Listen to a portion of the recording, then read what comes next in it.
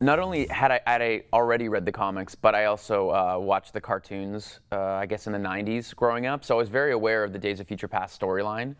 I think the toughest scenes were also my favorite scenes, to be honest, and that was uh, doing the ice slide.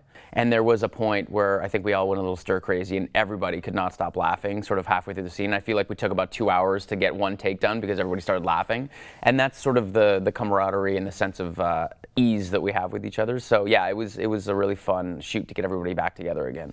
Bobby being one of the original X-Men members, you sort of find him as a teenager as opposed to a full-fledged adult. So I thought that that was always an interesting thing. We find Bobby discovering uh, and becoming comfortable with his abilities as opposed to him already being a full-fledged superhero. So I like that.